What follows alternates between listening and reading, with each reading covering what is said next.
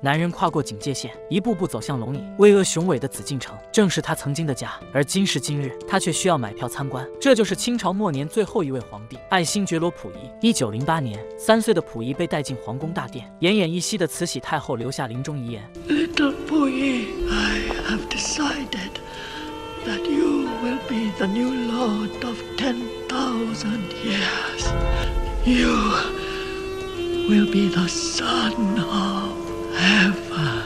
话音刚落，还没来得及喝一碗王八汤，慈禧就驾鹤西去。年仅三岁的溥仪就这样继位登基，坐上龙椅，在大殿上接受百官跪拜。但年幼的他对这一切充满困惑。也根本坐不住。太监在一旁提醒他，就快完了。没想到此言一出，一语成谶，一刻也静不下来的溥仪被一只蝈蝈的叫声吸引，几经寻找后，终于在一名大臣的手中得到了它。而这只被困住的虫子，仿佛贯穿了溥仪的一生，成为了权力至高无上的皇帝，但也成了孤寒高位的存在。伺候他的下人无数，却没有人真正懂他。当天色渐渐暗下来，溥仪单纯的问道：“Not today。”转眼七年过去，溥仪终于见到了自己的母亲和弟弟。弟弟溥杰行礼跪拜，溥仪却直接从他身上跨过，来到生母面前。Do you remember my face? No。血肉至亲就这样被生生隔断。好在弟弟溥杰被留在宫中，但两人地位悬殊。溥仪高高在上坐着轿子，弟弟只能在一旁跟着跑。一旁的奴才们纷纷背过身去，不敢多看一眼。然而毕竟还是孩子，溥仪和溥杰很快就熟络起来，带着他嬉戏玩耍。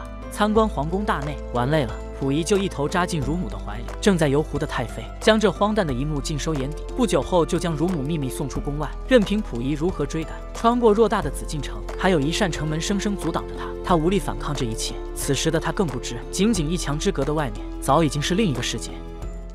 看见弟弟穿了黄色衣服，溥仪立马命令他脱下，只有皇帝才能穿黄色。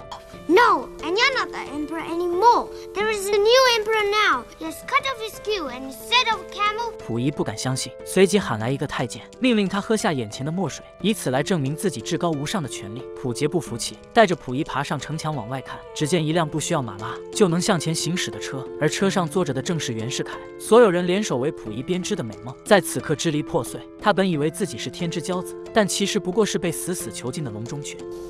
Am I still the emperor? You will always be the emperor inside the forbidden city, but not outside. 十六岁的溥仪迎来了一位新老师。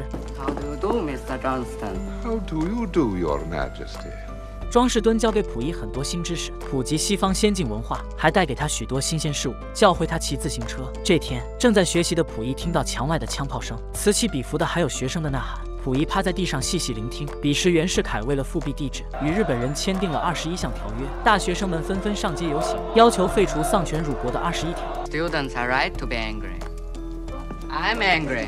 溥仪很想出去看看，但他却无法逃出这牢笼一般的紫禁城。当得知母亲自杀，溥仪骑着自行车想要回家探望，然而厚厚的城门却将他死死拦住，连生母最后一面也没有见到。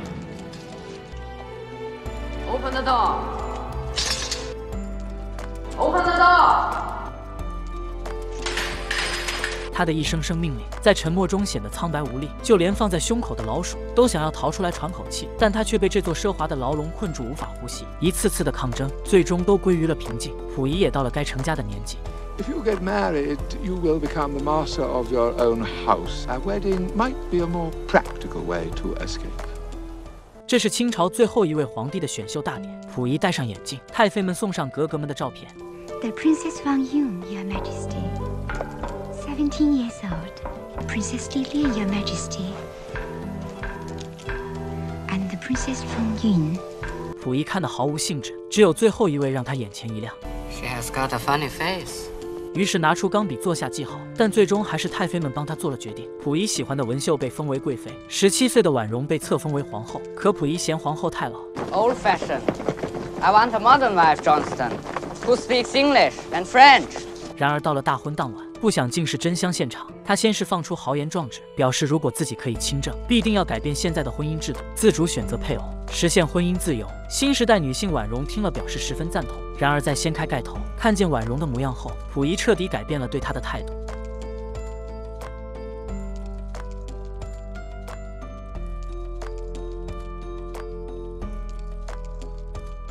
而婉容也很懂得讨皇上开心。既然溥仪觉得这样的婚姻很过时，他便提议先做一对现代的夫妇。Good night. Good night. 成年后的溥仪想要有所作为，在宫中大兴改革。